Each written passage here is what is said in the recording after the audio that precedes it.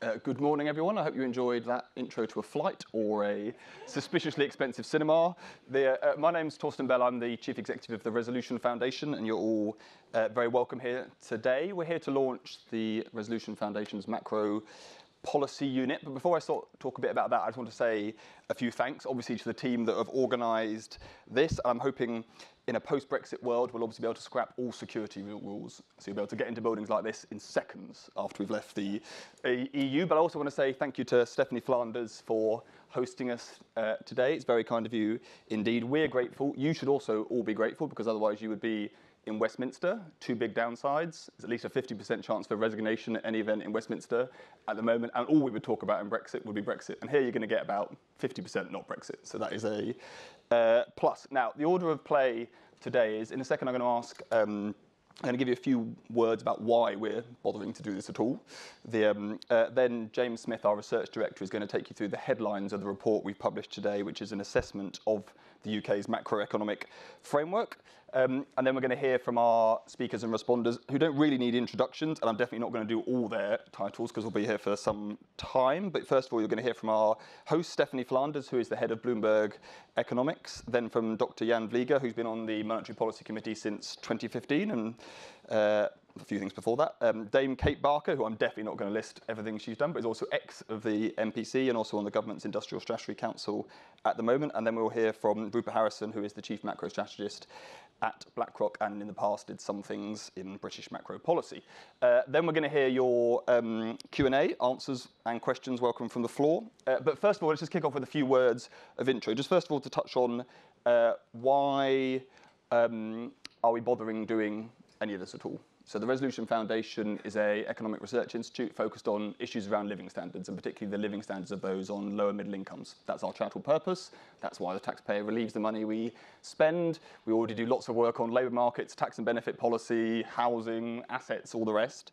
Why look at macro policy? Well, I'm going to offer two rather obvious things. And we were having a conversation with our trustees about 18 months ago saying, what are the areas that have had a big effect on living standards that we don't do a lot of work on? And a chart like this comes to mind, looking at incomes uh, over the last 10 years. And I think if you didn't pre-financial crisis think that macro policy had a big effect on people's living standards, you probably do since. I think it is worth reflecting. I often read things saying the pay squeeze we're currently living through or this charts like this, they're caused by changes to inequality or you know, lots of other things going on. There's bits of that going on, but really this is all just caused by poor macro performance. Weak productivity is the reason pay growth has been so slow, particularly in the last few years when we've had a tight labour market and other things are important, but less important in that big picture. So that's the, uh, the first reason. The second thing is to say from a perspective of lower middle income families, in general, uh, recessions are worse for them. Now, not always in the immediate part of the crisis. So if you have a high unemployment recession, you definitely are worse for the bottom end. Uh, but if you have, as we had in the last crisis, a lower unemployment recession and a big squeeze on earnings, it's not as bottom heavy, but the long term pain is still disproportionate for the bottom. And I'll just show you a reason why that is. So this is showing you consumption, percent of consumption spent on essentials by income quartile. So poorest families at the top, uh, richest families at the bottom, showing you the change in essential spending as a share of consumption um, since the financial crisis, showing you the peak of that in 2017, and then where it's got to now in 2012. Sorry. Um, now, the, the, thing I want to draw your attention to here is obviously the biggest increase in um, essential spending is by the poor families. You'd have expected that. Any given squeeze on earnings, they have less capacity to cut back non-essential um, uh, spending. Now, but the key issue is really that the increase that happened from 2006, so around 52%, and then rising up towards um, 60%, has not faded. So if we go into another downturn in the future, we're going into it with a baseline which is there, the, the, the, um, the profit and loss of those households, their annual position has already done a lot of what the coping mechanism it can do, which is to cut back other spending. Yeah, and I can show you similar charts about savings levels. So although it is true that debt levels for poor households are better than they were before the financial crisis, we care about the overall balance sheet as well, and their savings levels are also down. So the, um, and that's what happens if you have 10 years of a earning squeeze. Then the question is why focus on it now? The Resolution Foundation could have focused on this 10 years ago. Well, it's always good not to be left out of a conversation. Everybody else is talking about recessions. This is showing you a, a chart of Google searches in the UK for recessions over the last uh, two years. This is obviously slightly flippant, but, the, um, but there is a significant uptick in people looking for it, and they can't. They don't all just work in kind of the Bank of England and the Treasury. Some of these people are in the country. They've started talking about it, and they've probably got good reason for talking about it. This chart is showing you a simple model we've done at the Resolution Foundation, saying what from previous. This is this is largely based on the yield curve. What from previous recessions. Uh, uh, is the chance of one today, and it gets you to roughly 40%. Ignore the number because these things are all made up. Just focus on the point. It is, it is the highest it's been since the financial crisis. That's it. And that's not a surprise to any of you because you, we've got a global uh, growth slowdown combining with uh, Brexit uncertainty. So it's very serious. Now, uh, just to wrap up then, I just want to say four things about the way in which we're intending to engage in this macro policy debate at the Resolution Foundation because there's lots of ways to do this, good and bad. The first is to say this is forward looking. Now, one of the dangers of the macro policy debate of the last 10 years is that we had a very, very large row about the role of fiscal policy in 2012, and lots of people have stopped talking. That's all anyone's talked about for the last eight years. Okay? Now, people can come, reasonable people can come to different views about what we should and shouldn't have done in the past. But if that's all we talk about, it's not clear to me you get the optimal policy descriptions for the future. The second is to say that macro policy debates are incredibly US focused. So there's lots of policy, particularly policy focused debates in the US about this. Peterson, other you know, friends of ours in Washington who do great work around that. Lots of people from the have left the Fed and had lots of interesting things to say. But a lot of what they have to say is about the US context. And that cannot be the only thing we look at. Countries are different.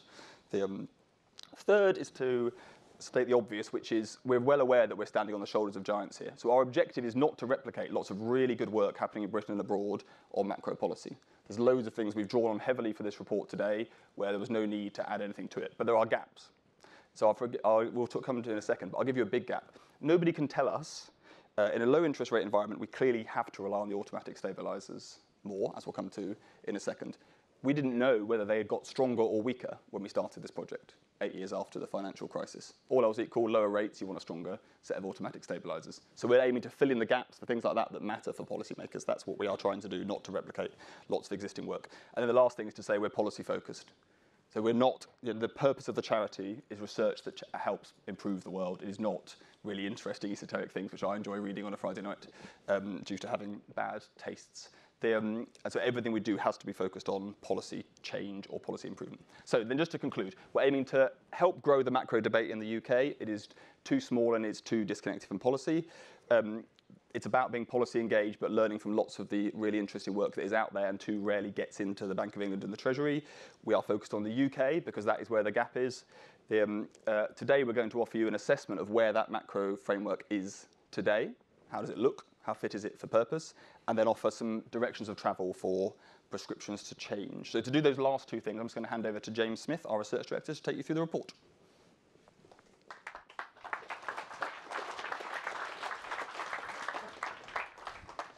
Okay, thank you very much, Torsten. Uh, good morning, everyone. My name's James Smith. I'm Research Director at Resolution Foundation and head of the MPU. Um, great to see so many of you here this morning. A lot of what we're trying to do here is spark a wider debate about macro policy. And I think you know that's something that's really uh, crunched down and we don't talk about anywhere nearly enough for the reasons Torsten was just talking about. Um, before I get into the meat of this, let me abuse my position in the limelight to say a few thank yous. I'll echo Torsten's thank you to uh, the team putting this together, particularly to Stephanie um, uh, and to the uh, associates for the MPU, including uh, Jan and Kate, who are speaking today, and to, to our other speakers. Um, I'd like to thank um, Torsten and our uh, Deputy Chief Exec, Matt Whittaker, for having the vision for identifying the need to talk more about macro policy. That's a big thing, and it's something we need to do more of, and they've had the perseverance to, to push through uh, creating this, uh, the MPU. Um, finally, I'd like to thank uh, Theresa May. Uh, sorry, I'm going, going on before I even start finally, I'd like to thank Theresa May. So basically, our strategy has been to launch this paper once Brexit was completely out of the way and the country was ready for a grown-up uh, conversation about macro policy. I think we can all agree that strategy has worked absolutely fabulously, and uh, nobody really talks about Brexit anymore, so that's that's all good. But the original timetable for this was to publish in April um, uh, after Brexit was out of the way, and now um, with it being pushed back, we've just published it quite a lot later. So what was a comprehensive review of the framework is now an extremely comprehensive review. So as you're wading through the 100 pages, you can, you can thank Theresa May for, for that. All right, let me stop uh, prattling on and get into the meat of this. And let me try and be very clear about what we're doing in this paper. So basically, Torsten has told you there's a high risk of recession and there's a good reason for thinking the recession could be particularly painful uh, this time, particularly for the most vulnerable in society. So straight away, you can see there's a very strong case for making sure we're ready and making sure the framework is, is ready for that. Um, and so what we've done is gone through each major area of policy. So we're going to go through monetary policy first, and macroeconomic policy, uh, and then fiscal policy, and assess exactly how uh, effective we think it's likely to be uh, in, a, in a future recession. We're going to focus on targets, tools, governance, uh, and think about exactly uh, how things could be re reformed going forward. Um, and this is a very Bank of England style uh, approach to uh, to um, doing a presentation. So you can you can take a boy out of the Bank of England, but uh, you you can't separate him from from doing tables in a presentation. So I'm going to build this table up of our assessment and exactly what our, our priorities are for the uh, for the reform agenda. Um, all right. Um, before I do that, let me let me be let me set the scene a little bit by showing you what happened during the financial crisis. Um, so this chart just shows a blue line, simple line of GDP during the financial crisis. Financial crisis was a huge recession. GDP fell more than 6%. More than a million people became unemployed.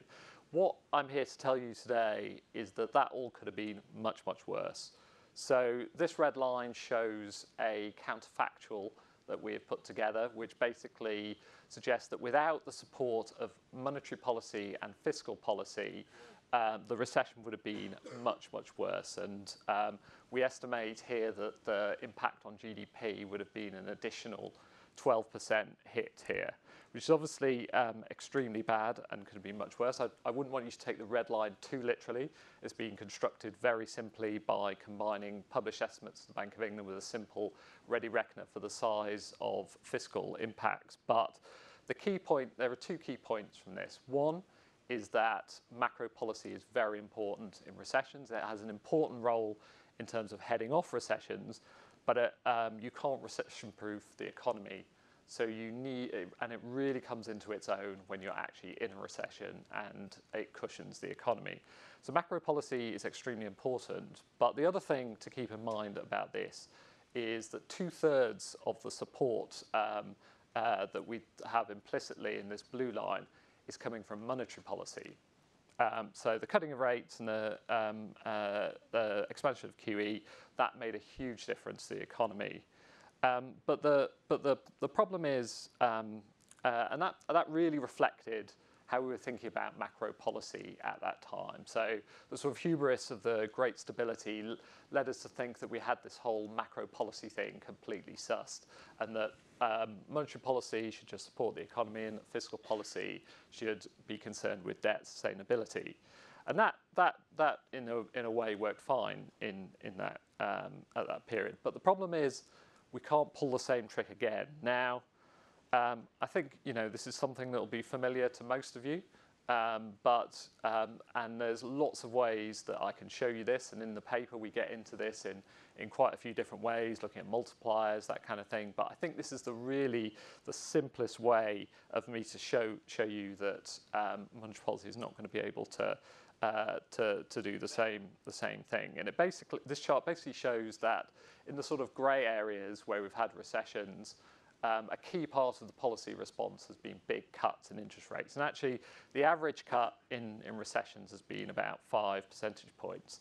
And if you look to the right of this chart, you, um, as you all know, interest rates are currently, uh, policy rates of the Bank of England are currently below 1%. So there's obviously much, much less um, scope for, uh, for, cutting, uh, for cutting these, these interest rates.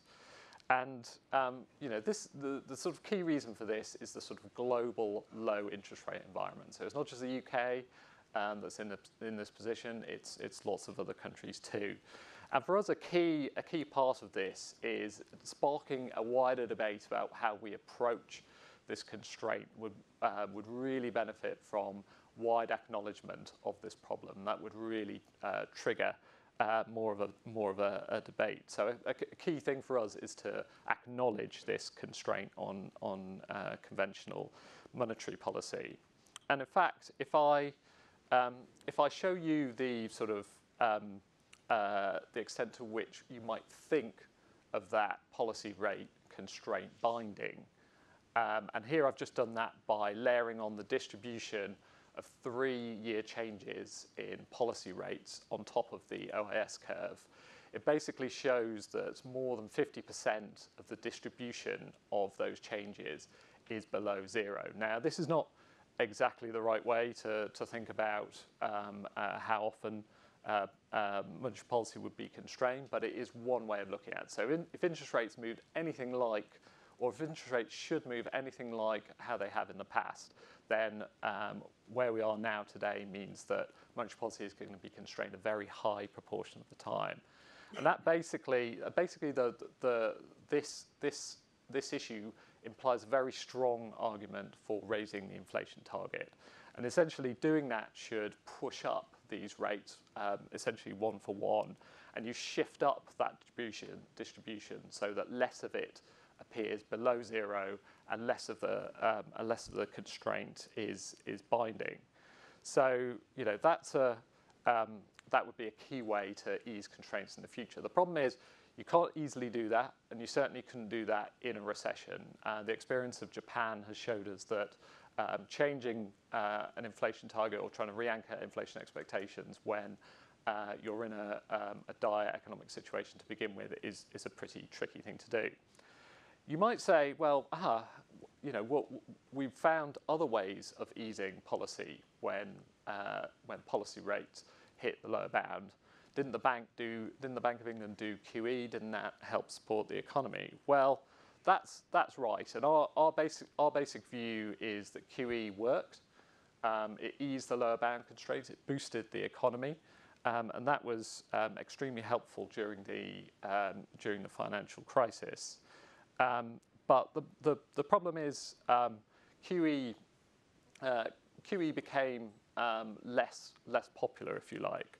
Um, so um, a key concern was around the overall distributional effects, because the key transmission mechanism of QE is to boost asset prices, lower the yield on those assets, and thereby loosen financial conditions. And the criticism and accusation that was levelled on QE was that it only helps the, the most wealthy. Um, our view is that, that that's too simple a critique of QE. Yes, we find in detailed work in this report that the distributional um, effect of wealth uh, from QE um, exacerbated those, those existing inequalities in terms of wealth. So 40% of the asset price increases that we saw for QE accrued to the top 10%. But um, they were offsetting effects in terms of um, in terms of the in terms of income inequality. And this chart just shows across distribution our estimate of the impact on incomes from the better macro um, macro situation that, that came from, from implementing QE. And we can see the red bars is employment effect, blue bars is a, a wage effect. And here you can see because people were more likely to be made unemployed at the bottom of the distribution, the effect is slightly larger there. So there's some offsetting effect from, um, from uh, uh, on in income inequality. But our view is that the bar has probably gone up for doing more QE. And this is one way that we would, we would sort of show that. So basically, this is a survey of MPs, uh, members of parliament, that we commissioned at the Resolution Foundation to gauge their views on QE. And basically, the way to read this chart is the blue line asks about their, their views on the, on the past impact, and the, gold, and the orangey line looks at their views on the, on the future impact. Um, and basically, you, uh, things to the right are um, uh, signalling more approval, more positive about the effect of QE. As you move to the left, it's less, you're less positive about the impact of QE. And basically what you see here is um, MPs being very positive about the past impact, uh, but more circumspect about the impact in future. So uh, barely a third of uh, MPs would say that future use of QE is, is advisable uh, going forward. And really for us, this, this implies a case for easing some of these constraints on QE, making it easier to use, regularising it within the framework, and we set out some ways to do that in the paper. Um, but the problem with QE and a lot of other substitutes for uh, conventional bank rate policy is that they work by lowering longer term interest rates. And this chart just shows you a long time series across um, advanced economies of 10 year government bond yields. So the type of thing that QE is exactly trying to target. And I focused here on the UK, and you can see those rates have really crunched down um, over the past couple of years and in recent months. And in, in the paper, we argue that you could potentially do um, an additional um, QE stimulus in a recession that would be worth around uh, uh, the equivalent of around one percentage point on policy rates. But I think with um, interest rates at levels like this, even that is looking uh, quite optimistic. So let me return you to my assessment chart here. So basically, our view on monetary policy, as a lot of people have said, is that it, it will be constrained. And if you, um, in a recession, um, that implies a very strong argument for raising the uh, inflation target. When I, when I hear the Bank of England say equilibrium rates are low, I hear, and potentially we should have a, a higher inflation target. Um, just to, just to be absolutely clear, we think um, the Bank of England plays a key role in our overall framework. So both in terms of what it's done since the crisis, in terms of its overall role and the uh, support it gave during the crisis, um, we think a strong independent Bank of England is a, um, is a, is a really crucial part of the overall framework. Um, but um, uh, looking, so looking forward, um, we think it'd be really helpful to acknowledge the constraints um, that uh, monetary policy is facing to spark a wider debate, strengthen QE, regularise it within the framework, and then review the monetary policy toolkit. Now, there's lots of changes you could make here, and uh, lots of countries are, are conducting review of their tools and strategies for monetary policy. Our sense is those additional tools and strategies that people often talk about, different types of asset prices, different types of forward guidance policies, are not going to give you all that much in an environment where low rates are basically um, at very low levels. So there's an obvious lower bound that people talk about on policy rates, but there's a lower bound on longer term rates as well, which people talk less about. And that implies a very strong case for, uh, for raising the inflation target.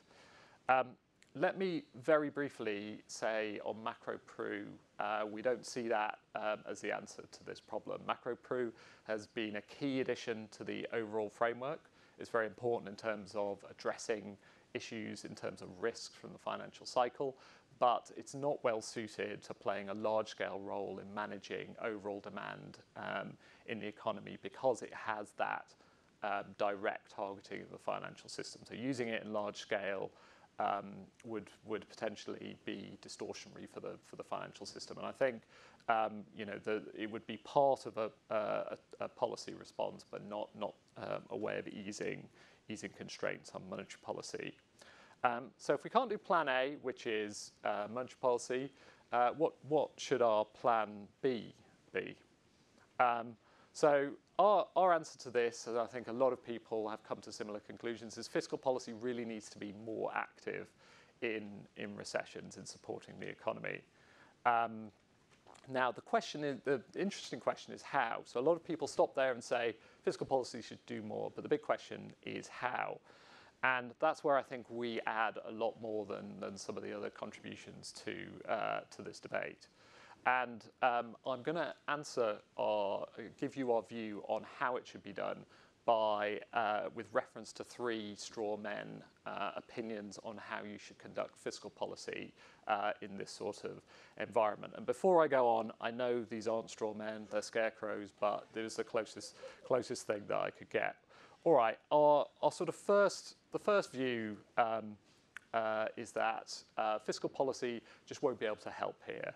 It all but ignores the cycle. Um, the framework isn't set up. The Treasury aren't set up to do fiscal policy. Uh, we, you know, the, the, situation is basically hopeless.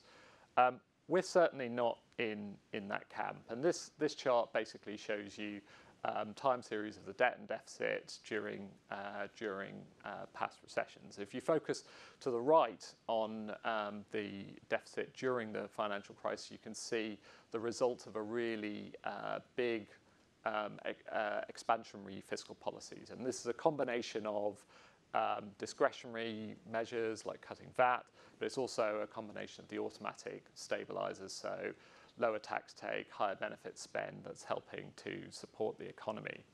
And the key thing with, with the current framework to keep in mind is that basically it has this knockout in it that allows you to say, look, we've been hit by a significant negative shock, um, so we can just suspend the rules and do discretionary fiscal policy. And that's essentially what, what happened during the crisis and uh, um, you know, fiscal policy uh, help to, to support the economy.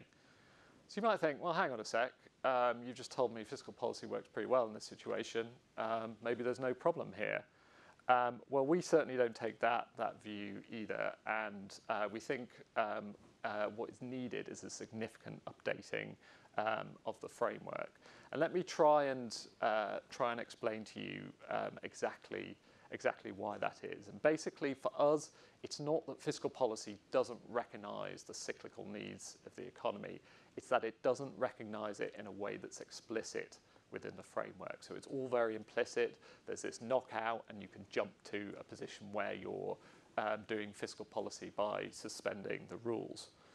Um, and we think that would um, reduce the size, the speed, and the effectiveness of the overall fiscal, fiscal impact.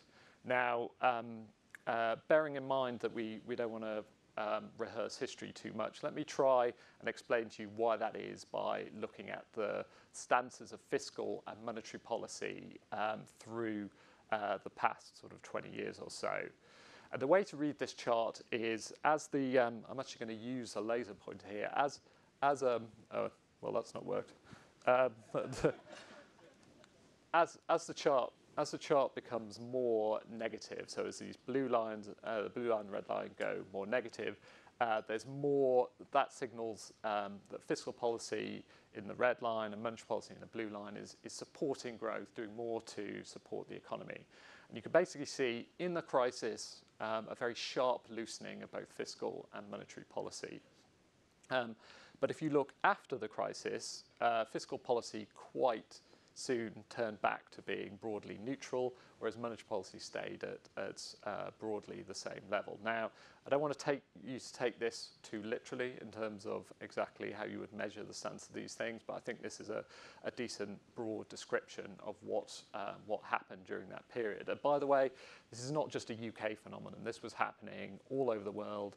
Central banks were the only game in town, and fiscal policy was um, uh, essentially um, tightening in, in a lot of places. And this basically reflects this sort of pre-crisis framework that monetary policy looks after the economy, fiscal policy looks after, uh, after debt sustainability.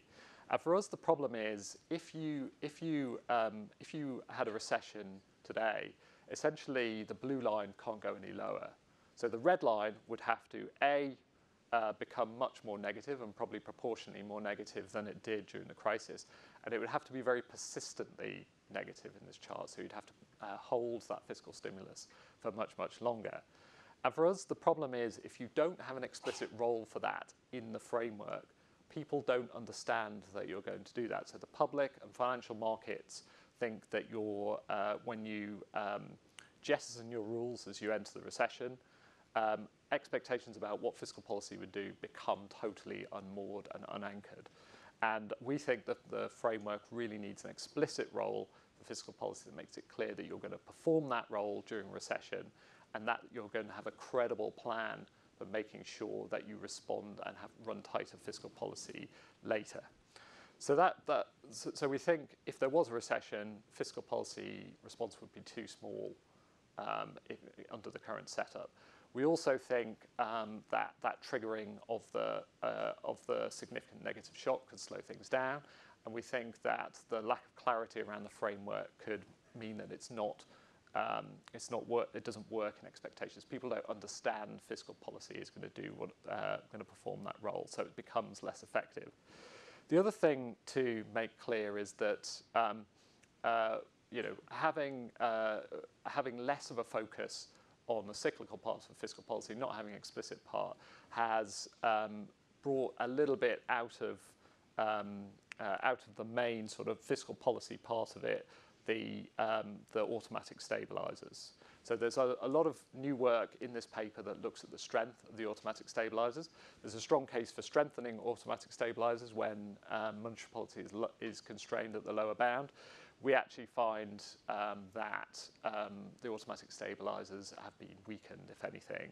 And you can see the key reason for that on this chart, which basically shows that some of the benefits that are um, incredibly powerful in stabilizing the economy during recession have actually been made somewhat uh, less generous during the, during the recession. Okay, and my, my final straw man is that um, we're just not being radical enough. Like we, we should um, what, what, should happen here is that fiscal policy needs to be fi money financed, and that's the only way to do a fiscal response. Um, our view is basically that um, we wouldn't rule that out. There are circumstances where you might get there, but that's not remotely where we are today. This chart just gives you a sense of that. So I would focus on the red line here, which is debt servicing. And you can see even though debt um, in the blue line has increased, debt servicing is at incredibly low levels by um, historical standards, and so there must be obvious capacity to, uh, to undertake debt finance, fiscal policy in the next recession. So we have the fiscal capacity, uh, we should use it. And even more than that, um, the UK is in a, a, a, good position for doing this relative to some other countries because our actual process for deciding on fiscal policy um, is um, not as slow and doesn't get in the way as it does for um, some other countries, including the US here on the left and on the right, Germany, have had sort of similar constraints. And in Europe, uh, there's the other constraint of there not being one fiscal actor. So the UK is in a, in a much better position here, essentially. All right, so, so that's where we've got to on uh, fiscal policy. So fiscal policy, fiscal policy's countercyclical role needs to be expanded. It needs to be made uh, it, at the moment, it's implicit, which reduces the timeliness, effectiveness, and the size of the overall st stimulus. The automatic stabilizers have been weakened, um, and our view is traditional fiscal policy um, uh, is, is available here. Um, uh, in terms of the priorities here, then, the, the key things are to uh, rewrite the fiscal rules to give it that explicit uh, countercyclical role um, strengthen the automatic stabilizers and prepare uh, discretionary stimulus. So doing stimulus in a way that um, gets your biggest bang for your buck and uh, takes into account the types of vulnerabilities that Torsten was talking about earlier in terms of those on, uh, on lower incomes, uh, we think is incredibly important. All right, that's it from me. I'm just going to leave you with our taglines here in terms of, uh, in terms of our overall assessment.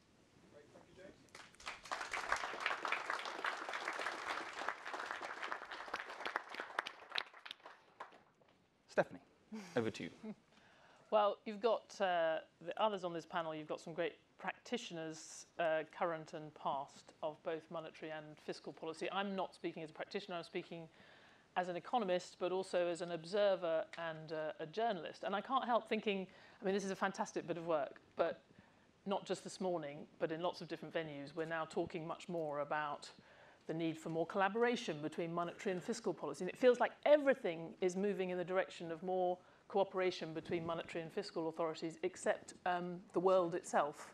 Um, and I would just, as a, as a journalist, inject a note of caution about not so much what's in this report, but just in general our kind of grand schemes for, for new ways of doing uh, macro in response to the next crisis. That we do have a US president who is currently declaring the central bank, its own, his own central bank as the biggest threat to the economy and, quote, doesn't have a clue.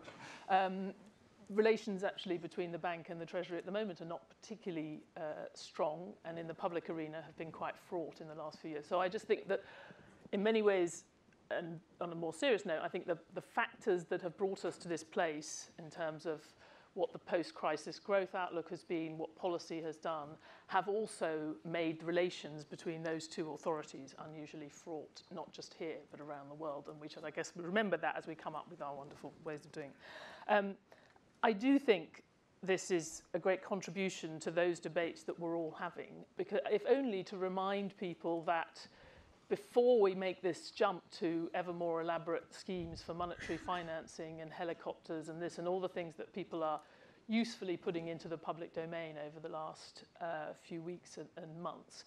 You know, there is quite a lot of traditional plain old vanilla fiscal policy available and maybe we don't have to jump to those new things before we've explored that, the strength of that capacity. So that was one thing I really liked um, about this report. I also uh, particularly like the focus on automatic stabilizers, having at various times when I was at the BBC and other times tried to write things and say things about the automatic stabilizers. And there's a few, you know, Ed is nodding, Ed Conway is nodding in the audience.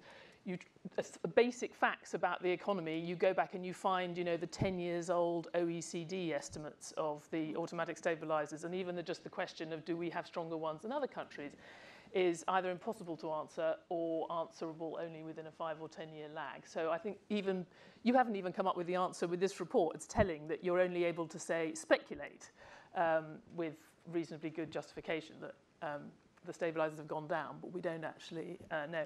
I would say, um, especially when you look at that chart, uh, given what you rightly say about uh, the pattern of uh, costs, economic costs for the recession, for the last recession, and how it actually differed, the distributive consequences relative to previous recessions. You might you want to also focus on the in-work benefits and what's happened to them, because if we think that a large part of reducing the employment impact of the crisis was in effect pricing people into work with that big squeeze on real wages across the economy. So you didn't have a small number of people hit with no income who were then relying on the unemployment benefits, but lots of people relatively speaking, moving down the income scale and needing those in-work benefits more. Um, I think we just you, you need to focus on those as well because if, and they of course we know that there's been a, a big um, a, a lot of the reductions in benefits have been in-work um, families and I can't help thinking that that would affect our ability as an economy to have that more broadly distributed uh, economic pain that we had in a good way uh, in the last um, crisis.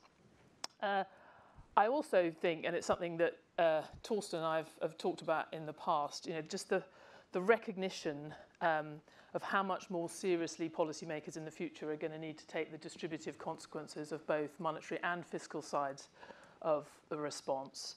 Um, you know, if anything, I would say more about that. I mean, the Bank of England has been quite, I mean, understandably, but very defensive uh, on the subject of the um, income, the distributive consequences of, of QE. You go into it in the report. Uh, whatever the, whatever the reality is, particularly on the income side, which I think is clearly right, um, that income inequality was not necessarily increased as a result of QE and probably reduced. Um, people understand the wealth argument pretty well. You know, they can see money being created and being in, given to people who already have money, because that's the mechanism you're putting it into asset prices. Um, so I think there has to, I don't think that certainly uh, if you talk to people at the Fed, their understanding of this issue, but I think haven't completely internalized how much more scrutiny there will be on the monetary response to the next um, crisis. And it really is important. If we think we're now dealing with some very economic, even just from an economic standpoint, if we're dealing with the economic costs um, of uh, people's distrust of, of capitalism and the kind of and the kind of politics that that's created, uh, in part as a result of the response to the, the, the way the crisis happened and then the way the crisis was responded to. You know, if if macro policy tools play a, played a part in that, which I think they did, I think QE has played a part, though maybe not a large part. Um, that's something we have to be even more uh, conscious of because we can't afford to be increasing those forces in the way we respond to the next crisis. So I think I think the focus is on exactly the right stuff, and I was rather, um, you know, envious as I sat on a plane reading this of you know how nice that to be able to have the resources. You know, it's fantastic. The Resolution Foundation has the brain space and the capacity to really focus on some of these questions that people haven't focused on. But I, I do, when I kind of reflected on the content, I thought it's also made me more clear on how incredibly messy and difficult it's going to be to learn the lessons in this report. So if you just think about the uh, macro framework that the UK has, um, we've learned, you know, that, that one of the big takeaways, which is right, we should be reflecting better the fact that we shouldn't be putting all the onus for timeliness on the, on the Bank of England. You know, uh, and you make the point that you know, monetary policy, it's been okay to have the most timely bit of our macro response be monetary policy because that was also supposed to take the, the majority of the burden. Uh, and if that's no longer the case, how do you incorporate the framework? That, that's absolutely right. It also, though, has to reflect how uh, we can no longer talk about macro policy without talking about politics and distributive consequences. So there's a sort of two things. You need to have more um, you need all of policy to be sort of more timely and to accept that fiscal is going to have to play a big role. But you also have to accept that the whole response is going to be much more, we have to be much, not think we can separate macro from the micro. You know, it, we, this comes up again and again. And in practice, I think that's really tricky. I mean, there's a reason we haven't done, haven't done this before. Um, even just on the automatic stabilizers, do you really take the politics out of tax and benefits by calling them automatic stabilizers? I mean, we might like to think so, um, but there's a deep ideology, ideological fact element at play in how you think about in-work benefits and even more about out-of-work benefits. You might have a long-term view of the growth impact of out-of-work benefits being a certain level, which is completely in contradiction to having to maximizing the stabilizers. So I don't think you can take the politics just by calling them automatic stabilizers. Um, can you meaningfully increase the timeliness of fiscal policy by making it part of the existing sort of short-term macro framework? And if so, how? I mean, and I was trying to think, what would it be? I mean, at the very least, I guess you could have a member of the OBR sitting on the MPC. I mean, I was trying to think of how, you know, the question has come down to, are you going to sort of infect the existing instrument or are you going to try and create something different, some kind of tripartite structure or anything else. And uh, again, you know, the more I think about it, uh, the more I suspect, you know, the messiness of this stuff is why people prefer to talk about helicopters um, and sort of pure monetary financing of fiscal, because it feels like that's easier to do than to get into these messy areas. But I do think that's probably, um, it's probably illusory but I mean, if you put it another way, it's about are we going are we trying to are we trying to make fiscal policy more technocratic? And if so, how much? Or are we trying to make monetary policy more political? And weirdly, when you start thinking about the mechanism, it feels easier to make monetary policy more political, to embed some of those choices in the monetary structure. But this is when I will then have Jan tell me why that would be absolutely disastrous. But I think that is why, going back to the beginning, we've all ended up talking about monetary financing because really trying to apply all of this stuff to, to fiscal policy, making it more automatic, more timely, is going to be really difficult. Great. I think, thank you, Stephanie. the, uh, uh, but as a, um, one of the main takeaways from the, like, whatever, however long it is now, 18 months of work on this is that we don't choose the world we live in. The world we live in is much messier than we thought it was 12 years ago, and I think the onus is on all of us to decide what are the bits of the old world that matter most, because you can't have it all. Uh, basically. Yeah. Anyway, right, from Stephanie to uh, Jan, I'm sorry she's just given your job away to the OBR, but bad things happen and unemployment benefits have gone down, but they're still generous. Over to you. Thank you, Torsten. No, putting him in charge of the OBR. Oh, don't try and don't try and get out of it now. You gave his job away. Oh, sorry, Jan. Um, so the idea behind today's report is that when the next recession hits. Interest rates might not be that far from their effective lower bound, which would give us less scope than we've had historically to cut policy rates significantly. And policymakers, therefore, have to think about other policy tools to stimulate the economy in the next recession. Um, and there's kind of four big ideas in there that I just want to unpack uh, for a minute. So the first one is why might interest rates still be near historically low levels the next time a recession hits? And the second one is what determines quite how low interest rates can go. And the third one is what other tools are available to monetary policymakers. And then finally, what tools are available outside the sphere of monetary policy. Before I get into those four things, um, I just want to emphasize that I'm talking here about a hypothetical recession at some unspecified point in the future.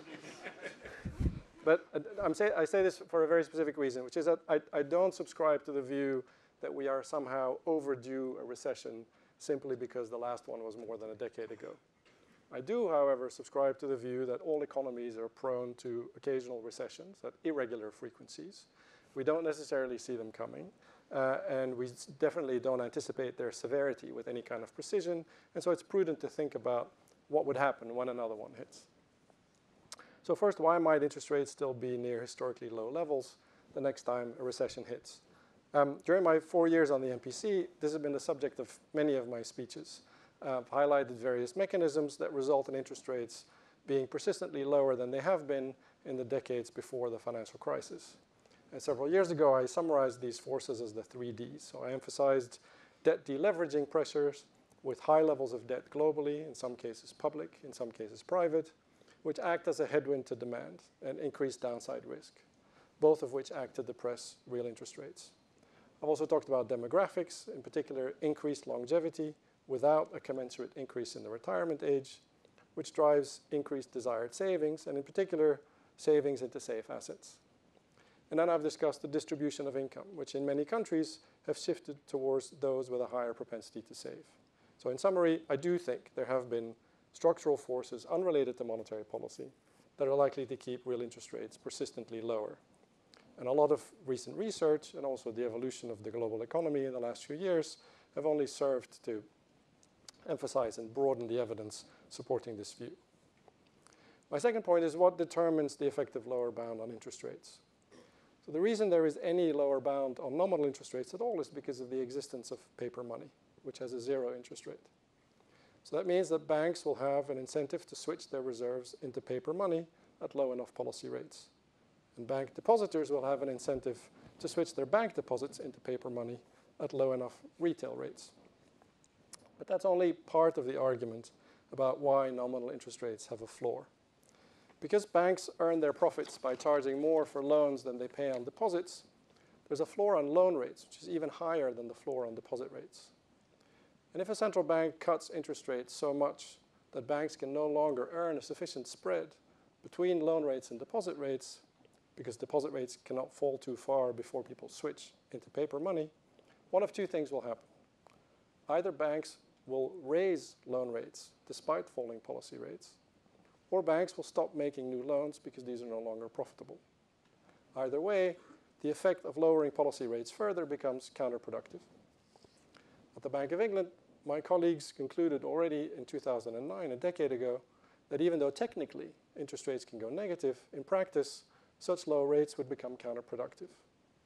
In academia, this later became known as the reversal rate, meaning the interest rate below which the impact of interest rates on the economy reverses. Now, where that reversal rate lies precisely differs across countries, and it depends on the structure of bank assets and bank liabilities. But the consensus on the MPC, and as well as my own view, is that for the UK, the reversal rate is close to but above zero. So this analysis rules out the idea of taking interest rates negative in the next downturn, unless we abolish paper currency, which I'm not in favor of, as I've stated on the record before. So if you combine that with the analysis that suggests that the neutral nominal interest rate is probably only somewhere in a 1 to 3% range, means that it is very unlikely we'll be able to cut interest rates by as much as we have done in previous recessions, which the report shows was about 5 percentage points. So the third point is then to ask what other tools, other than cutting the policy rate to its effective lower bound, are available to monetary policymakers. We can buy more assets, both public and private, both of which we've done already. There are practical limits to how many tradable assets we can buy, which are related to not wanting to hold too large a share of a single instrument in order to preserve liquidity. But there are also limits to the effective stimulus imparted by such purchases. 10-year government bond yields in the UK are around half a percent right now. There is just not that much room for these yields to fall further. In the limit, once the policy rate hits its effective lower bound and is expected to stay there for many years, buying even more government bonds is unlikely to provide significant further stimulus. Much depends, of course, on where those expectations of the path of policy will be when the next recession hits. And the point that there is not that much room for a further fall in government bond yields also applies to corporate bond spreads, which are also already quite low. Now, again, heading into the next recession, there's a chance, of course, that they would be higher, but at the moment, there's a limit to how much monetary policy can be expected to compress them. So in conclusion, on both interest rates and unconventional monetary policy, there is more we can do, but I believe that the total monetary firepower is less than we had in the period leading up to previous recessions. So that leaves policies that fall outside the sphere of monetary policy and its current mandate. Now, distinguish two different avenues here. One is to change the mandate for monetary policy, and the other one is to look to fiscal policy. Now, given my position as an MPC member who has been given the mandate by the government to achieve a 2% inflation target, I'm going to be brief here. Note that the logic of a possible change in the inflation target is quite straightforward. If there is an effective floor on nominal interest rates, and the objective is to make real interest rates fall more, one possible solution is to try and push inflation expectations higher. This can be done permanently by changing the inflation target, or temporarily by moving to a price level target or an inflation averaging framework, which would involve a period of higher inflation until some specific conditions are met. Uh, these solutions are actively being discussed in academia and among policymakers in other countries. And there are downsides, of course. For example, related to the fact that if you change the inflation target, there might be a higher perceived risk that you're going to change it again in the future, which is another way of saying that inflation expectations might be less well anchored around the higher target. Like I said, it's not appropriate for me to express a view on whether the pros of that decision outweigh the cons, but I think it's a debate well worth having outside the MPC. The second avenue is fiscal policy. And that can either be what I would call plain vanilla fiscal policy, which means increasing spending or cutting taxes, financed by increased government borrowing, or it can be a joint monetary fiscal expansion, so-called helicopter money, where the additional government spending is financed by a permanent and irreversible gift from the central bank, rather than a loan, as is implicitly the case uh, with QE. And I would note that helicopter money is quite a radical option, while plain vanilla fiscal policy, especially in a low interest rate environment, is not. I think it's useful to consider two cases of helicopter money. One is where the central bank pays interest on reserves. The other one is where it doesn't. If the central bank pays interest on reserves, helicopter money is just really a fiscal expansion financed by interest-bearing reserves. I don't think this is interestingly or usefully different from plain vanilla fiscal expansion. But if the central bank does not pay interest on reserves, helicopter money becomes quite a radical policy option. By mechanically keeping rates stuck at zero, the reserve expansion effectively suspends, for a period, both the instrument and the target of the central bank. It therefore expect, effectively suspends, for a period, central bank operational independence. I think central bank operational independence has served us extremely well in keeping inflation low and inflation expectations anchored. In the post-Lehman decade, which was a far more tumultuous decade than the previous one, UK inflation still averaged 2.1%, which is very close to the 2% target. And inflation volatility was 1.3%. On the other hand, in the period between World War II and the beginning of operational central bank independence, inflation averaged 6.2% with a volatility of 4.8%. So before we, as a country, give up central bank operational independence, even for a period, I think we should make sure that we try everything else first. And I think today's report by the Resolution Foundation provides a great list of options. Thank great. you very much. Thank you very much, Jan. So James will be very happy because that means that he's already ticked the first one on his list of policy recommendations, which policymakers should note it's not looking too rosy. They, we didn't actually say it in the slides, but we do actually provide a quantification in the um, report of how much monetary policy could do relative to what you might need in an average recession, the, um, and it comes in about a quarter. Now, not everyone will endorse that particular number, but it's about a quarter of the support you would need in an average recession, just to say how this constraint is not marginal. You can't have like 95% of what you want and then kind of, oh, well, I'll suck up the 5%. Right, Kate. Okay, thank you. Um, you seem to have lined up a lot of speakers, and I think people be looking forward to asking questions, so I'll try and be relatively brief, although it is quite nice to be able to think about something other than Brexit, although it's quite useful to think that we've probably all got Brexit in the back of our minds when we're thinking about how the next recession might come about. Um, and that's worth dwelling on when you think about the fact that recessions come in very different shapes and sizes. I think this paper is very good. It tackles an important issue, and I agree with the basic points that the framework hasn't kept up.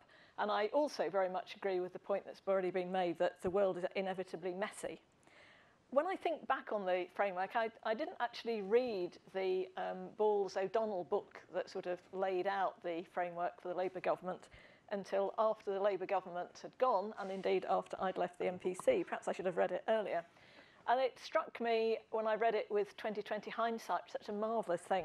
It had two big weaknesses. One is it didn't really think about the risk of financial crisis. This, they were not you unique in this, many of us underplayed the risk financial crisis. Perhaps less excusably, it didn't actually say very much about the risk of a shock to the economy that would send you off course that came from abroad. Hardly mentions abroad, actually, through the whole, through the whole book. And that meant it was actually a framework for little economic disturbances. And I quite often talk about the early years of my time on the MPC as a small change of monetary policy. And even now, I think we would all agree that small disturbances in the economy are dealt with perfectly adequately by monetary policy. So we need to be clear that we're putting this framework in place for really significant problems or smaller problems where monetary policy, for one reason or another, and Jan's taken us through all that, um, uh, is out of space, uh, is, is, out of, is out of shots.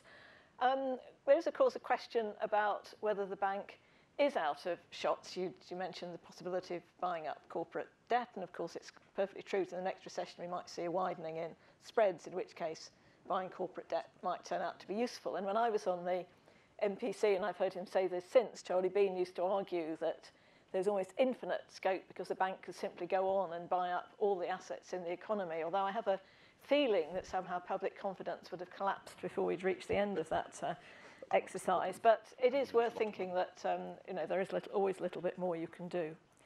Three points I think I'd make. I think it's good to have some principles established in advance, but I think it's also good to be wary of tying them too tightly.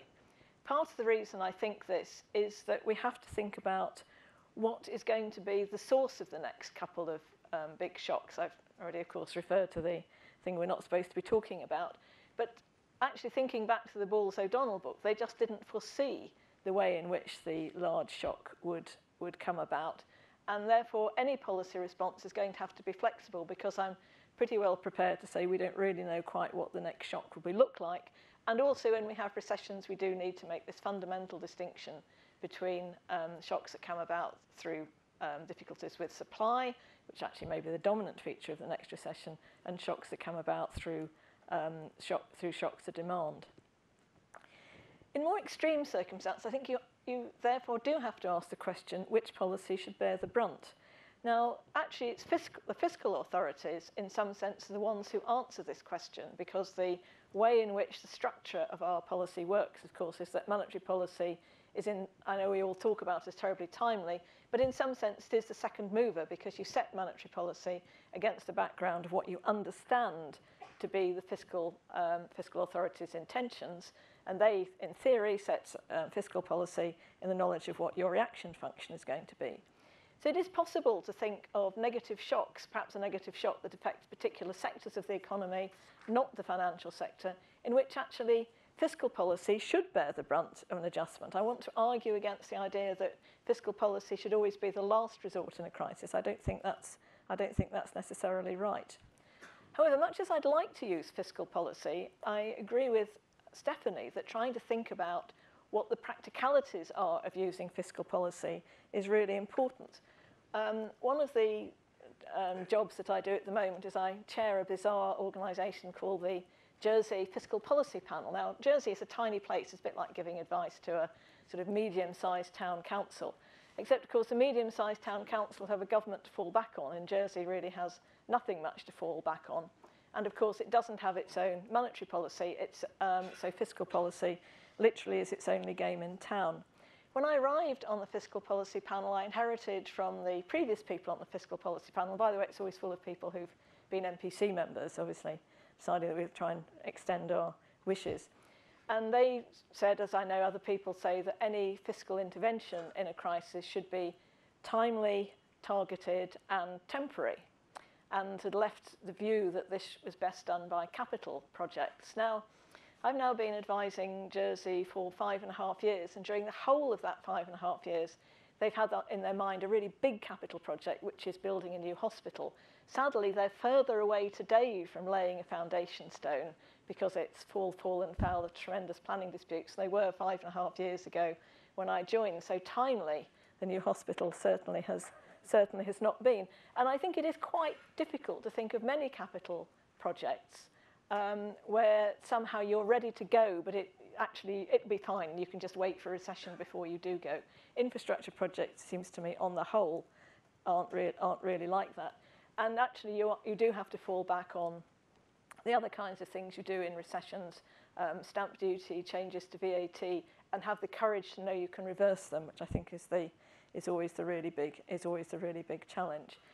I think the as a small challenge is if we'd known at the beginning that the um, recovery from the great financial crisis was going to be so slow and so protracted, we probably would have thought about infrastructure. But of course, it took quite a long time before any of us realised just what a long drag this was going to be. I want to say something brief about um, distribution, which of course really drives the Resolution Foundation. I mean, I think it's true that QE had overall positive effects, but I think it's also true, and you bring this out very well, that there are winners and losers, particularly in terms of the timing of which people are getting into or out of the housing market. The difficulty is, I think, the impact of QE in terms of driving up asset prices has got confused in the public mind and possibly in the MP's mind with the big fall in global real rates, which of course has been a very large factor between pushing up asset prices and probably is not going to be reversed at any time soon, and that certainly raises issues for housing policy. Those of us who are very old, of course, will remember the 1970s in which we had periods of high inflation, which had really huge distributional effects. And that's why we don't like high inflation. And of course, that's in some sense why we had a central bank. And it's then sort of rather ironic that the central bank has then put in a policy that's proved to be um, dist had distribution effects in the other way. I want to something very brief about central bank independence. I think you can be too pretty about central bank independence. Central bank independence is really important to stop um, policy makers at the other end of town doing things that look good in the short term and in the long term are bad. In a recession, I don't think central bank independence matters very much. It ought to be the case that the two have every incentive to work together and to work together well. However, um, Stephanie is quite right to point out that in the US we have this tremendous row about the way in which the central bank is working and how independent it is or should be.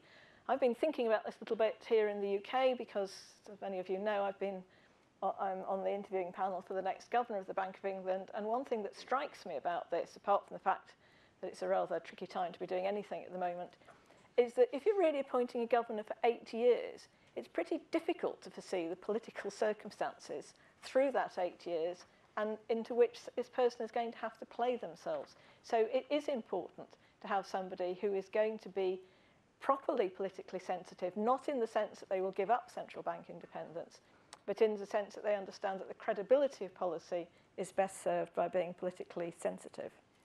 Almost finally, however good the framework is, policymakers will commit errors.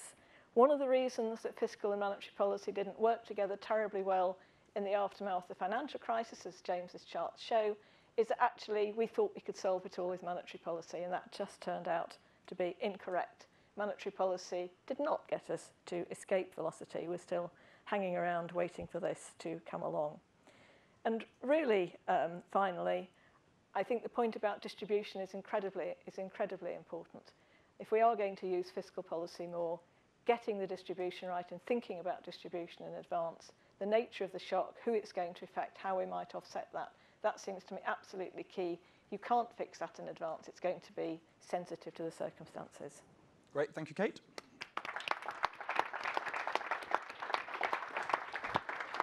It wasn't actually, it wasn't actually on the recommendation list, but appoint good governor uh, would, would, is also heavily desirable. Right, Rupert. Great, thank you. Um, so I'm going to make a few sort of small points responding to specific things in the report, and then kind of two uh, bigger points. Um, but first of all, I, do, I, think this is an excellent report. I think it's very good that you've got an institution with the resources and credibility of the Resolution Foundation digging into this. Um, I think it's very timely. Uh, I know from experience that inevitably, you know, large parts of the current framework are designed with the previous episode in mind, and that is always an error that policy is going to make. So we need to think creatively about how things might look differently in future. So congratulations. Um, just on a few sort of specific points, I, I you know, strongly agree we need to put a lot of effort into normalising QE. I don't think we can take it for granted that QE is going to be as easy in the future as it was in the past. Uh, in theory, it should be. Uh, if you compare the UK particularly to the Eurozone and the US, you know, the, the, Bank of England should be less constrained legally and politically than either of those two central banks, given developments in those areas. Um, I think it probably would be right now relatively unconstrained, but I think we can't predict, for example, if we have a change of government, if we have a uh, Jeremy Corbyn-led government, I think you might find all sorts of temptations to intervene in what the, the way the Bank of England can operate that we, we can't take for granted. So therefore, I think any work that we can do now in order to normalise QE, try and lock in the independence of the Bank of England to do whatever it can in terms of innovative policy along existing possibilities is, is important. Um, inflation, changing the inflation target. So we did review the monetary policy framework back in 2013 and we thought about all sorts of radical things. Um, speaking to politicians about raising inflation targets, they find that a very difficult thing to get their head around and how you would possibly communicate that to the public. Um, I think that that is going to be a very difficult uh, thing to get over. At the time, we decided also against trying to move in the direction of price level targeting or averaging. I do think things have moved on on that. I think the US is obviously leading the way. Um, I think maybe there is scope for trying to move in that direction. Um, and again, I think the main challenges are communication challenges. You know, the simplicity of an inflation target and the way that leads into expectation formation is a big advantage. Trying to communicate to the public the way that that might change over time, I think, is a very big challenge. Um, on fiscal policy, which I think a, lot of the action is going to be, um, I do agree that the fiscal rules probably should say something more about stabilization, the need for stabilization policy to be part of fiscal policy. I, agree uh, with, with Kate that you can't be too prescriptive. I think you have to leave quite a big wide open blank box because again you just don't know what exactly the circumstances are going to be. Um, on the automatic stabilizers, again, really interesting. Totally agree with Stephanie and others that you know this is a big, slightly been an evidence-free zone for too long. Um, but uh, and I also agree that we can't, you know, what Stephanie referred to as a political um, issues around this are, are actually just straightforward economic trade-offs here. You know, so basically, higher automatic, sta- bigger automatic stabilizers requires bigger replacement ratios, higher marginal tax rates. Uh, those help increase automatic stabilizers. Lots of arguments in micro policy suggest actually you should be you want lower replacement ratios and, and lower marginal tax rates um, in order for structural reasons in order to you know maximize employment. And that, that is just a straightforward trade-off. We can't get away from that. It's not political. It's inherent in the design. So maybe we should try and put some quantification around how beneficial it is to have automatic stabilizers. Are the likely scale of the benefits of increasing them likely to offset any cost in terms of structural impact? Um, I strongly agree uh, with Kate around expenditure projects. You know, the idea that there's a sort of pipeline of projects ready to be turned on is just not realistic. It's not just planning. It's also, you know, if we think about the UK right now, the constraints on capital expenditure in the UK right now, in terms of government infrastructure spending, are not the numbers that Sajid Javid wants to put in the red book. It's literally it's basic things around, you know, skilled workforce, people who are qualified to build railways and roads and hospitals. And you know, a lot of other institutions doing this are literally stretched to the max. The idea that you could sort of suddenly increase this in a in a recession, I think, is unrealistic. I think there are some areas where we need to think about capital spending currently undertaken by the private sector, where if that fell off dramatically in a, in a recession, the government could step in. I think housing is the most obvious one of those, where you could imagine something that is currently largely private sector provision falling off a cliff in a recession, having government mechanisms ready to either either through local authorities or through some of the pilots that are happening at the moment about direct government uh, uh, purchasing of housing, even housing for sale, so that there's a kind of commissioning body to keep the overall level of house building in place. I think that would be one way you could do that. I think realistically, going back over what has worked in previous recessions, you know, VAT is your big lever. Um, and so, you know, the idea that anything is going to be more powerful than that, I think, is, is unrealistic, plus a lot of other smaller things. Um, so those are sort of some small, sort of smaller comments. Uh, two big points, one about monetary financing and then about um, the importance of micro responses in recessions. Um, on monetary financing, so partly, uh, you know, this is uh, topical for me because BlackRock published a, a paper recently by uh, Philipp Hildebrand, Stan Fischer, Jean Boivin, um, and Elga Bartsch, which is a kind of distinguished group of economists and former central bankers, uh, saying that we need to put in place frameworks now to think about monetary financing and fiscal policy as a kind of logical extension of inflation targeting frameworks when you're at the zero lower bound. Um, I do think that we need to start taking that seriously, and I think that actually the UK could take a lead in this space because, again, we, we don't have the kind of legal barriers that are in place in the in the eurozone. Uh, I think that the politics should be more conducive to this in the UK than it is in America, where I think the controversy around the central bank is is much more deeply ingrained in, in the legislature than it is here. Um, I think the reasons why we need to think about this, even though it's fair to say normal fiscal policy has some room to run and, and could be a tool, I think there are probably three reasons. Um, two of them are, well, the, the first is sort of a political economy reason. I mean, I, I don't know what it is about the behaviour of Parliament over the last three years that gives anyone confidence that we will have well targeted, timely fiscal policy put in place in a recession. I mean, like quite the reverse.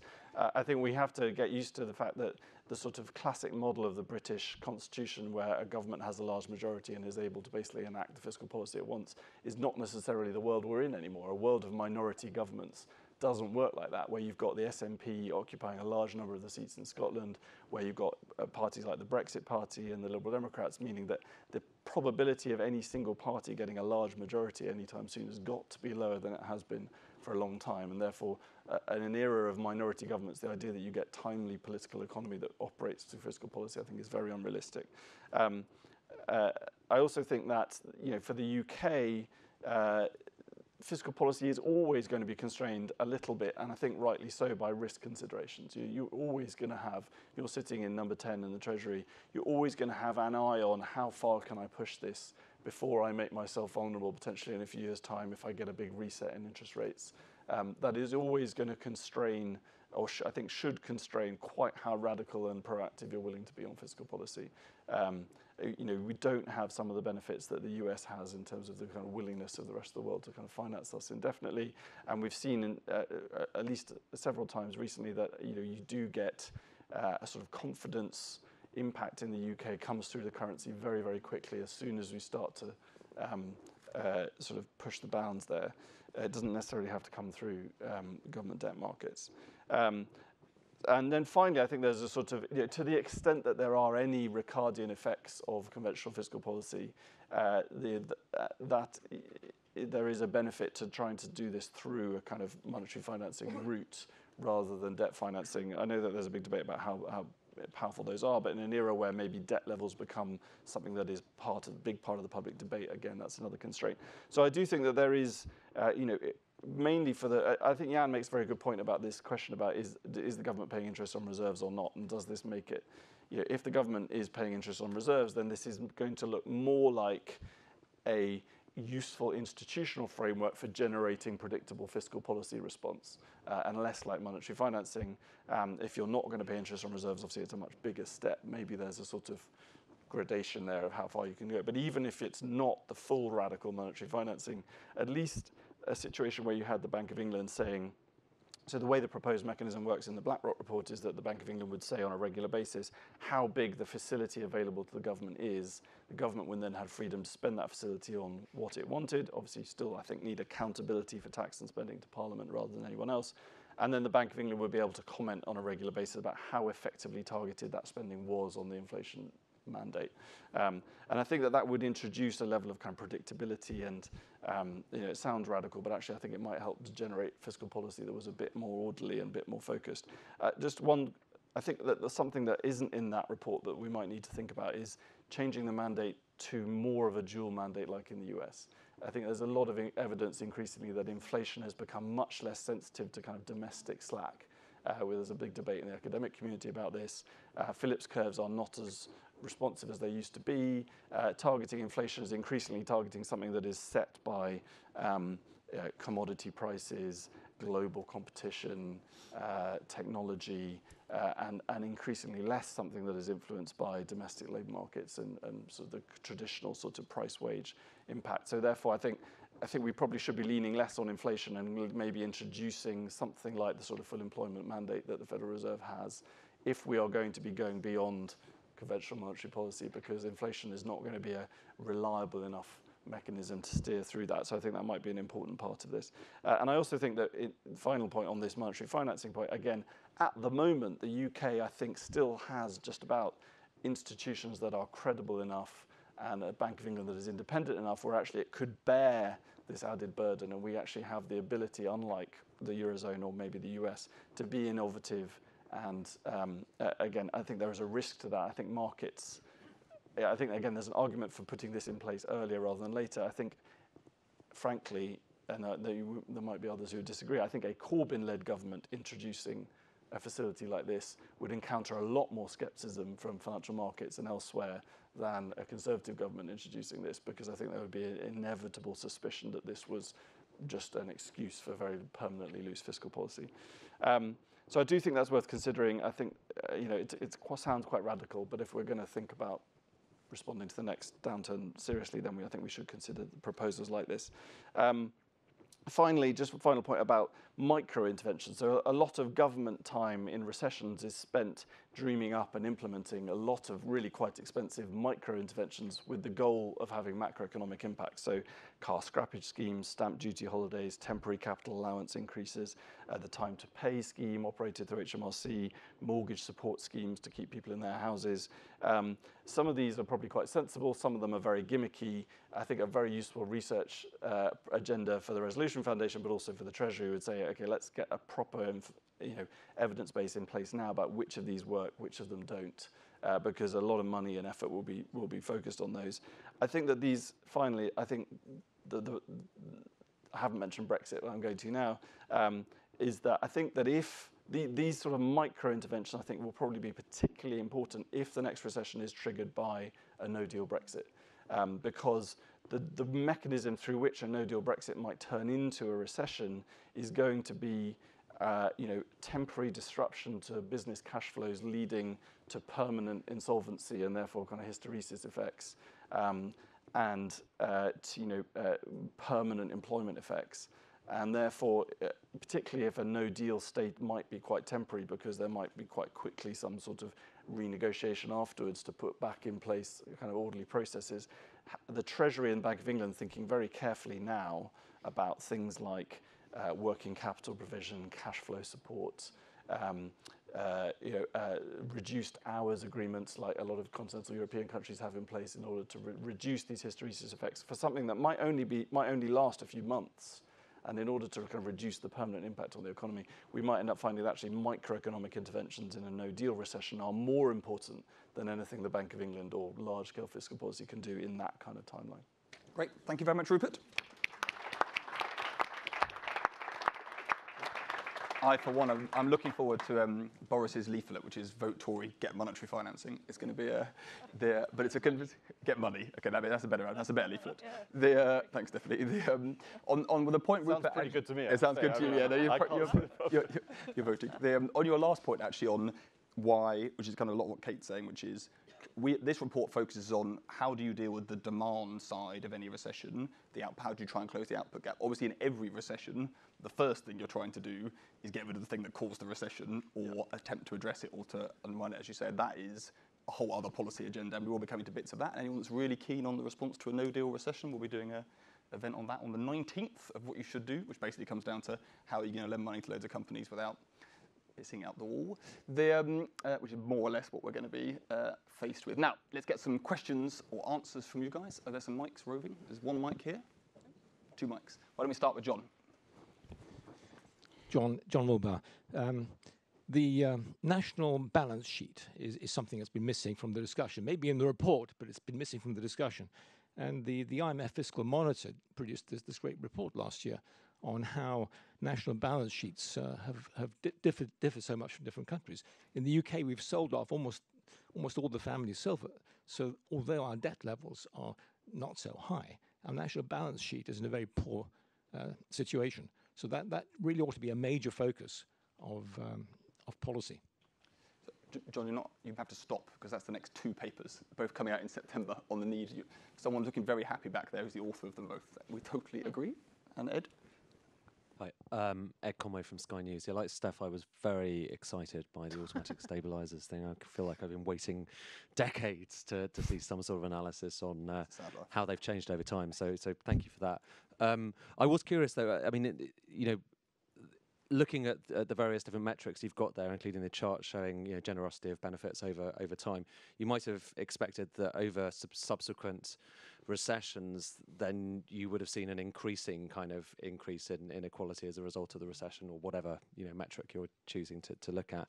But actually, I was struck by I think figures six and seven in, in your report showing that this recession wasn't um, as uh, as bad on that front as, as, as many previous ones on it, on employment and on wages. So I just wonder, is, you know, do you think that is, is entirely down to the discretionary fiscal and monetary stimulus as opposed to everything else, that which I presume is the answer, uh, or is that just a challenge to how on earth we can measure the change in automatic stabilizers? Great question. And this lady here. Silvana Tenreyro, speaking as an academic.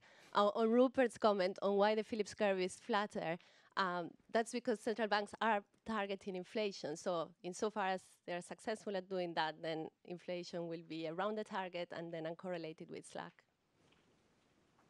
That was a very quick version of your paper. Impressive. There are other reasons as well. There- okay, okay, okay. Right, look, let's go through these. So, um, so no one from the Resolution Foundation is allowed to answer John's question. Uh, or anyone, anyone want to take balance sheets? Well, just to make the point, I think it's a reason why governments will always feel a little bit constrained when it comes to mm. fiscal policy in the UK. You know, you've got, you are always going to have an eye on risk management and the way that people perceive long-term solvency. There is a general point. Like in a world of low interest rates, balance sheets are bigger. Government people, people making lots of arguments about I want to nationalise this or I want to borrow with low rates to pay for this stuff. It's all free money. In that world, the case for focusing on your overall balance sheet, not just your debt, for good policy outcomes is clearly like very, very important to um, future, albeit coming with constraints of how you actually measure it well. But, the, um, but it's still uh, very important. Now, the st- sterling. my favourite topic. Um, I mean, on that, we, I mentioned a bit on the just the balance of how uh, we had much slower. We only had what slightly less than two percent fall in employment, even given the five percent or more decline in, in GDP. I mean, I think that's what you know. One of the great things was that one way or another, the Bank of England did manage to achieve some inflation throughout that post-crisis period in a way that the US didn't, and we know that fundamentally that sterling played a huge part in that. But I think you can see mechanically almost how that priced people into work. I mean, you get the kind of real wage figures that we always talk about. Um, but if you compare, I looked at this compared to the US, where you couldn't get, because if you think there's nominal wage rigidity, where you couldn't get the kind of real wage decline in the US because inflation was so low and indeed negative at one point. Um, it was worth about, for us, if you just do it on the back of envelope, it was worth about 900,000 jobs that we were able to have real wages fall um, purely because of the higher level of inflation um, if you're assuming that inflation wages by and large can't fall in nominal terms. So I think that was, and that will of course come up um, if we think about the likely mechanism for uh, when we get the next recession. But I think it's also when I say about needing to talk more about these things, um, and I think that's one of the helpful things about the report, saying even just talking about making the fiscal stabilisation role more explicit in the fiscal rules you know, should be about, partly about having these kind of conversations, talking about what kind of pattern of adjustment is better or worse in a distributive way. I, mean, I think there's a link to that, to the distributional point in the automatic stabilizer as well, because of the Yeah. way, because of course, uh, a lot of the big benefits are inflation uprated. The fact that the recession in the UK generated Yeah. a lot of inflation Mm. because of the depreciation meant that there was actually the bottom Yeah. proportion And of the population were entirely protected from that real income hit because of, if you go back to sort of 8, 9, 10, 11, there were some very big upratings during that period. And there were also discretionary decisions by government to top up various parts of tax credit. So, for example, the child element of the child tax credit kept being topped up above inflation as well. So they were very sort of powerful automatic stabilizers and distributionally. But if those benefits are now lower, I mean, then- then you get less of that impact. So the in-work benefits, that's what I was saying. Well, there's a general it's thing. quite There's powerful. So long as your inflation up rate, like the key is that you obviously do not want to be freezing. Yeah, I mean, they're not that much lower, so particularly in work benefits. So the amount of money spent through universal credit is now very close to the amount of money originally spent through the tax credit system. So they're not actually that much lower than they were. But Ed, I do think it's worth, like, we've got to pause it. Like, let's not assume the next crisis is definitely like the last one, okay? So, a lot, like, you will, we will get the pound falling and giving us some real wage fall slash great flexibility if, we get, if the pound falls a lot. And it fell by 30% last time. So, I think we all forget what is the big thing we all missed in the crisis, how big the sterling falls were, and what that would mean for the macro response. So, everyone was still planning for an unemployment recession. Actually, and that was extremely timely because it have missed it. happened before the recession Totally, started. it was ideal. But let's not assume that happens. So I was at a job centre last week in South London. If a recession happens again, and it's it's not it's not asymmetric with the UK being the worst affected, the pound will not do that. We will not get that inflation response, and we will get a lot of unemployment. And right now, our job centres are not ready. Like we've, we've suddenly brought like you know huge numbers of more people into job centres with universal credit in work people. Yeah, that's going to have to stop on day one of a recession that is not, does not look like the last recession. It's not just a flexible labour market giving us no unemployment. Jan, inequality. Yes. Um, so I I think uh, one of you mentioned that we have been defensive on this before. Um, I think we have been analytical on this. Uh, That's definitely defensive. So the, a couple of key points that I've said before, but they're really fundamental. So, you know, if you're going to make a list of lots of things that drive inequality, monetary policy is way down the list after many, many, many other things. If you do decide you want to focus on monetary policy, then there's a couple of important points to make. First of all, um, QE, in terms of the income distribution, QE boosts employment and wage growth, and that helps people at all levels of the income distribution, particularly at the low end. You're going to talk about asset prices, yes, QE probably boosts equity prices relative to what they otherwise would have been, although equity prices in real terms, I think, are still below what they were uh, a decade ago. Um, but it also boosts house prices, and it's not the case that only wealthy people own houses. So, you know, Kate talked about a redistribution between people who own and who rent. That's true, but that's not the same thing as saying a redistribution between people who are well off and people who are less well off. It's a completely different kind of redistribution. Just to encourage a bit more defensiveness. Yeah. The, um, so that is true. Is but, but part of the problem is because, so insofar as we thought about the effect on asset prices as temporary, because we planned to unwind this, part of the challenge is once you've had it for so long, 10 years, for some of the, anyone that has transacted an asset during that price, gone from an area where they were a renter to being an owner, it is a permanent life, life, life's consumption hit to them, whether or not it unwinds in the future. I think in retrospect, thinking back to kind of discussions in 2009 about should we do QE, should we not, obviously we had no choice, so kind of the answer was yes. But the, but part of the problem was we, we thought we were doing something for two years, and we've done it for 10. So re- the real issue is um, monetary, uh, monetary conditions are just looser for longer than any of us thought. And so the level of temporariness of the effect on wealth is just, for anyone, it's not temporary if I sold my house at high prices.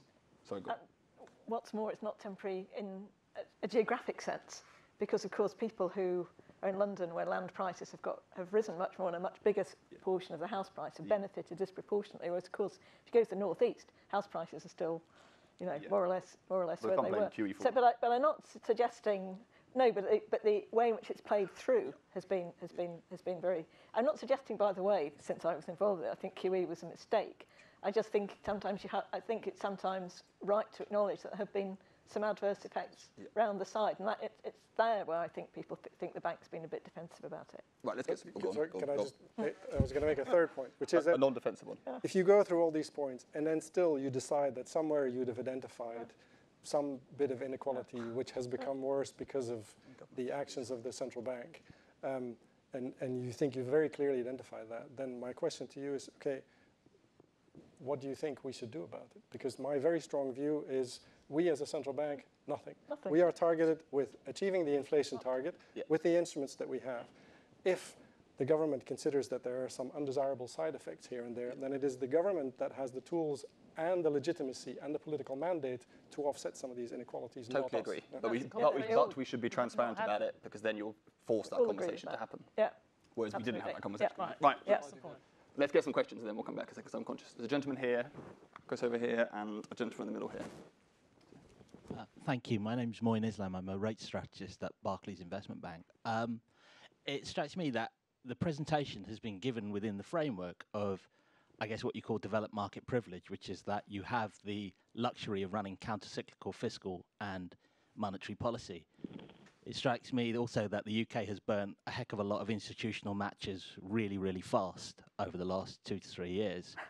And we understand how to measure monetary policy credibility through the lens of market measures of inflation compensation. But how do we measure uh, fiscal policy credibility? Because arguably, if you look at the relative shape of the gilt curve to the OIS sterling asset swap, sterling curve, or LIBOR curves, uh, the UK already looks fiscally shaky, if not non-credible. And if you look at you know technical technical measures such as uh, gilt forward asset swaps, these are already at super high levels, levels actually beyond that you saw in 2008 and 9 when the government was borrowing a lot of money very quickly and very fast. So your whole framework is based on the idea that the UK remains a developed market in terms of market reaction and the reaction function of um, policymakers. What happens if that's not true? We are definitely assuming Britain remains a developed country for the foreseeable future. Chris. Uh, uh, Chris Giles from the Financial Times. Uh, a question relatively similar to the last one. Uh, the obvious answer to some of the problems that put up here would be to run much looser fiscal policy so you could have tighter policy and the overall balance would be the same. Uh, no one has suggested that on the panel this morning, which suggests that fiscal policy might well be out of ammo just as much as monetary policy. Can the panel comment? Right. Yeah, and who else? There's a gentleman in the middle here. We've got a mic.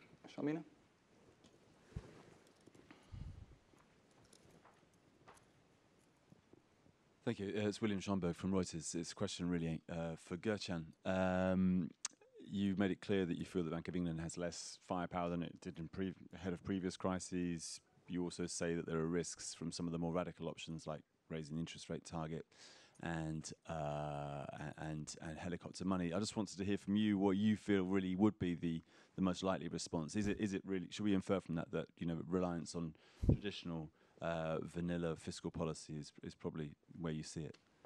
Great. Right, James, why don't you kick us off on the, the balance of risks here between the world as it is, thinking we can definitely do policy like this, versus maybe the world's not like that, and so fiscal policy is not available, traditional fiscal policy is not Yeah, available. I, I think I think that's a really important point. I mean, I, guess sitting here with um, ten-year gilts at, at half a percent, it really feels quite difficult to make a, credibility argument on, this side. But I think the framework works well. The framework should be able to specify how you react when fiscal policy is also constrained. I think the th- one major thing we've learned is that frameworks that work only in good times are not really worth the, the paper they're written on. So I think you know, this whole discussion is really important. I just don't think that's, that's where we are at this point, both in terms of both in terms of market pricing. I take your point on the on the on the technical side. I mean, just just to be to to emphasise Jan's point, when you do monetary financing, you inevitably um, completely radically change the framework and in terms of the balance of policy making between fiscal and monetary. And for us, there are big risks that come with that, and you would only want to do it in extremis. I take um, a lot of Rupert's points about why that might be desirable um, in certain circumstances. I, I think a key reason why you might worry at the moment about uh, fiscal being constrained is it doesn't have this credible framework for addressing uh, recessions, having that countercyclical role. I think you know having having that, which is a key recommendation from from our paper, that would you know help people understand exactly how fiscal policy would respond. Jan, I'll give census to you. Um, so th- the essence of the question is, you know, monetary policy is but one part of a multi-dimensional toolkit, and, and what you're asking is, you know, how should we use all the different uh, dimensions? Uh, and I'm afraid that's really not a question for me to answer. I, the, the whole point about central bank operational independence is kind of a two-way thing. It means that you know, people don't tell the MPC what to do with interest rates, but the MPC don't tell other policymakers what to do with their tools. Uh, and I think the, that's, a, that's a separation which is, needs to be, in my view, needs to be preserved. The, where we do have a role is, and, and that's exactly what I'm doing here today, is to say, look, our lever doesn't move by as much as it used to move in the past. And so therefore, when you're thinking about all the levers together, you may want to take that into account so that you think about creating more room on the other levers. But it's not for me to say, and therefore you should, you know, it's best to use that one or that one or in this, in this sequence. That would be way beyond the remit of the MPC. Right, do you want to pick up the general kind of fiscal, is it well, a good just idea? Responding to some Moeen and Chris, um, so I, I do think it's absolutely right that, that fiscal policy, so there's two statements, but I think everyone can agree with the second, some people would agree with the first. So the first, which I think is that fiscal policy probably is more constrained than, than we might suspect, given the risks out there. But I think the second thing that everyone agree with is that policymakers will always worry about that a bit and that will always therefore constrain their willingness to be to use fiscal policy extremely aggressively. And I think this is why that's the reason why I think it is worth considering a framework where you've got formal coordination through the Bank of England creating a facility. Um, the, the, the, second point, you know, the, the, sort of luxury of being a developed market as opposed to an emerging market is something that I think we should not take for granted. And certainly, if you look at you know, equity bond correlations in the UK over the last few years, we look more like an EM, and we're certainly slipping down the, the correlation matrix towards being where equities and bonds head off uh, at the same time because you get kind of just capital in and out is the dominating factor as opposed to uh, a sort of solid expectation framework. Um, uh, and of course, the, the kind of crucial thing that you lose if you do become more of an emerging market is that when you loosen policy, financial conditions tighten because you get capital outflows and loss of confidence. Uh, and therefore, you are forced to only, the only way you can stabilize your economy is to force a very deep recession on the private sector and, and, kind of come through that adjustment process as we've seen time and time and again. For, you know, recently, we've seen Turkey, Brazil, uh, and now Argentina with some particular added problems of external debt. Um, and so, you know, we, we need to be very, very careful of, giving, let's not get to that point. I, I do think that, you know, let's not get overexcited. We're not at that point yet. I still think we do have credible institutions. I think that the correlation structure at the moment is mainly driven by Brexit uncertainty, um, which may go on for a very long time, albeit. But uh, but therefore, I think that the, the, the you, you, talked about the temptation for Boris Johnson of saying vote Conservative, get free money. Um, I think the message to policymakers is if, you know, we may be getting to a point down the line where some of these tools about monetary financing are required. The message to policymakers is, is if you want to have these tools available to you, the, the, the value of maintaining credible institutions so that you can operate them is very, very, very high. So therefore, the risk, particularly if you're Jeremy Corbyn coming into government, if you want to have the ability to do non-standard interventions like this, you need to have credibility because otherwise markets will respond to these kinds of announcements very, very negatively and will have the opposite impact on your economy that you intended. Kate. Right. I mean, I agree with you about the need for credibility. I would be concerned for the role of the central bank in a world where the fiscal side says, well, actually, we'd love to do more but the Bank of England says we can't. I think that, I mean, I just find that something, I find that something that would really I don't think the framework suggests that. I think okay, it would always be available to the government to go for. One list of banks, so. Well, yes, but in that, but in, yeah, but, it, but well, I thought that was what you were suggesting, actually. But anyway, perhaps I That's not what's in the... Okay. Perhaps, I, perhaps, I perhaps I misunderstood. I thought the idea was that the bank warranted the fiscal facility. Is that There's not a the minimum, case? a, a minimum, but the government is always able to further. borrow, uh, issue bonds to Beyond borrow more that, than that. Yeah. This okay, would be but a kind of yeah, floor. but even so, I can, I could, I think this is very, I think the size of that facility would be would be quite important. The other thing I just wanted to say very briefly is we talked a lot about distribution and interest rates. We haven't talked at all about distribution in sterling. Mm-hmm. Falling sterling is really bad for distribution, and actually was one of the things. If you look at the immediate aftermath of the crisis, was one of the things that caused distribution issues. So we shouldn't lose sight of that. The fact that actually it may be that the fiscal issues appear much more in sterling than they do in gilt yields, and that will be bad for the poor. Mm. And last word to our host. um, well, actually, I just want to pick up on a couple of things that have been mm-hmm. said before. I think it's, I mean, it's very striking what Rupert was saying just now about, which is absolutely right, about Britain having behaved more and more like an emerging market over the last few years. I mean, it's very striking. If we look back to 2010, um, uh, one of the great uh, things that we learned at that time was that the comparisons with Greece, uh, when we had sort of a similar budget deficit, were a kind of inappropriate in some sense because we had control of our own currency. And we sort of learnt that lesson that actually we weren't in any serious sense at risk of becoming Greece. But it does, maybe with Brexit, we have done everything we can to make that comparison. You know, next time it really will be relevant. And maybe when we stop worrying about our uh, underlying credibility in the market is just when we should be worrying about it. So I do, uh, it reminds me I should think about that. Um, what Kate said about, oh, sorry, I think Rupert said as well about um, it not necessarily being, uh, you know, something it's worth thinking about having a broader mandate. Uh, I do think that's interesting. If you look around the world, collectively, the major central banks have sort of delivered too little inflation and too little growth over the last few years. And uh, in a sense, to have some kind of political tilt against the sole focus on inflation now, even if we worry about Donald Trump's tweets and everything else, is not inherently, uh, it seems to me, an unhealthy thing. And I think even you know, the discussions that uh, Corbyn uh, and the Labour Party have raised about introducing a productivity target, of course, caused enormous consternation and predictable um, outrage among kind of purists. But it doesn't, whatever you say about the practicality and everything else, it doesn't seem to be an inherently illegitimate thing to raise, to say that the central bank should be concerned about real variables, even if we worry about the inability to actually affect them in the short term. It's not so different from a nominal GDP target when one comes down to it. So um, I think we should all be, you know, to Kate's point about not being so purist about mm. independence and political interference, um, I think is, is well taken. I would just, I mean, unusual for me, but I would end on a positive note. If you actually look at the UK, um, our ability to be a bit messy when it comes to the lines between monetary and fiscal, and a bit messy when it comes to central bank independence, it's actually much better than either the US or the ECB. If you look at how, for example, the letter writing process has worked, the fact that we're target, the bank is target dependent, so there's an explicit political process about setting the target. When you saw QE happen, the way that process of, of the explicit guarantee by the Treasury um, being there right in the heart of the policy. These were all instruments, this was, this was like an, adding an accountability to extraordinary actions by the central bank, which was completely lacking uh, in a kind of formal sense in both the Eurozone and the US. So I actually think we have a good track record here that uh, other countries, they're not looking to us to learn very much at all at the moment, but they might well look at that very small piece of our infrastructure. They might. They, um, right, look, can we thank our panel for their thoughts today?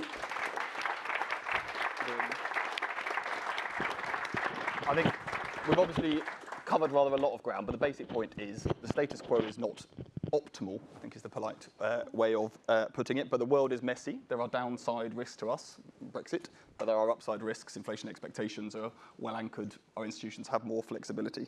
But the danger is we just leave it and then wish we'd done something in the crisis. So go off, and anyone that's a policymaker please go and fix it. Thank you very much. See you soon.